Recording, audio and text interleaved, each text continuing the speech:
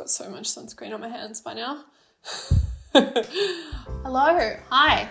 I'm Hannah. So, I'm a beauty writer and creator, but I have a science background in clinical research. I've worked on some drugs, mostly oncology, that are on the market now including skin cancer. Naturally, I'm very much into sunscreen and it's really exciting because sunscreen isn't thick and gloopy and uncomfortable to wear anymore and there are so many beautiful formulas out there. So I've heard all the excuses. I've heard sunscreen breaks me out or it feels oily and uncomfortable on my skin. They don't work with makeup. They turn skin grey. I got you though. Today I get to help you find the best sunscreen for your skin type. So just a brief overview. 80% of the visible changes to our skin that happen as we get older can be attributed to sun damage. I'm talking about wrinkles, uneven pigmentation, loss of elasticity, uh, sensitivity, and um, loss of hydration.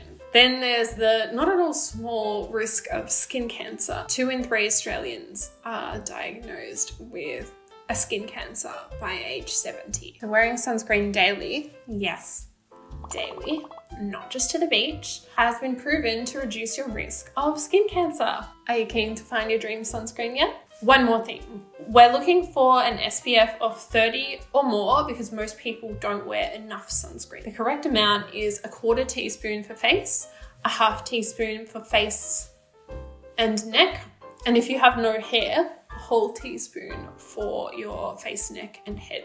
Don't forget your ears, back of the neck as well.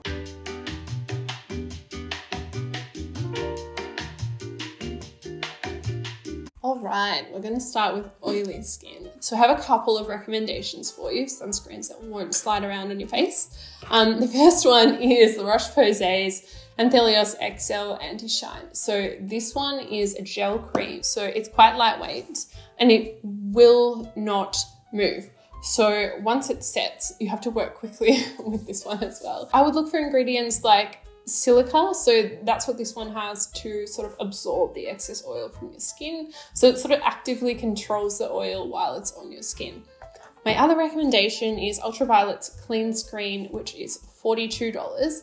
And this one is made for sort of dermatitis prone, acne prone, or rosacea prone skin. So it actively calms your skin while it's on there. Here's the texture, super lightweight, not gonna feel oily on your skin either, and you can comfortably reapply it throughout the day over makeup. If you have dry skin, ideally you just want a sunscreen that will moisturize and not dry you out and potentially add a little bit of glow. So this is Queen Screen Luminizing Sun Serum and it is $47. So it comes in a little dropper like this and this is the texture so it's still lightweight it moisturizes your skin, um, it primes beautifully for glowy looking makeup. SkinCeuticals Ultra Facial Defense. So this one is $55 and it comes in a really convenient tube so it fits in your handbag really nicely for reapplication, which we do regularly. This is the texture of the SkinCeuticals. So it's kind of a lightweight cream as well, puts that moisture into your skin and then it sort of locks itself in place and it has the best protection if you have dry skin. Heaps of glow, sort of a satin finish, but also fresh.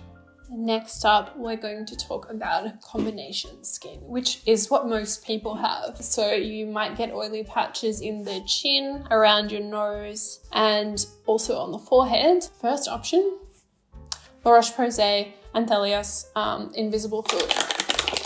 So this one you shake, it's the lightest sunscreen that I've potentially ever used. Look at that, it's like water.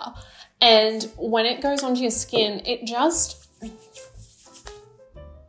where'd it go? It feels like nothing like nothing at all. And you can know that your sunscreen isn't gonna sort of interfere with what you've done in all your other layers of skincare and makeup. So my next recommendation is Ultra Violette Supreme Screen. So this is $45 and it's more of a moisturizer or priming moisturizer texture I will show you. So it's sort of a sheer, but again, skin smoothing and glow inducing texture and it won't make you shiny and it sits beautifully under makeup. This is the hand with it on and this is without. So you can see that it's like evened out my skin tone. Let's not talk about my developing fake tan, which by the way, is the only safe tan. Now we're going to touch on sensitive skin. When I have a sensitive moment, I feel like I want everything in my skincare routine to be calming. That's where Ultra Violette's Lean Screen comes in. So Lean Screen is SPF 50 plus because you know that the sun wants your skin to be more sensitive. If it were to want anything, it doesn't have a brain. The UV filter in Lean Screen is zinc oxide, which is calming for skin. It's $45 and it's kind of like a comforting moisturizer texture. It looks quite sheer once it's rubbed in, reapplies really nicely over itself, and yeah, kind of beautifully evens out your skin as well. So Lean Screen's your best friend. Now that we have our face sorted, I have a couple of options for your body as well. If you need a bit of a glow, Ultra Violette's Extreme Screen is your best friend. It's got a bit of a gold shimmer through it. Stop focusing on my face. Ultra Violette Extreme Screen is $35 and that's for 150 mils. So this is the big guy. My other option, if you want something bigger and you're not into the glow, La Roche-Posay Wet Skin. So this one is a body sunscreen, SPF 50 plus, and it's not sticky and it's fun for the whole family and it's also unscented. So we've got face and body looked after. Can you think of anywhere else that could use sunscreen? I can.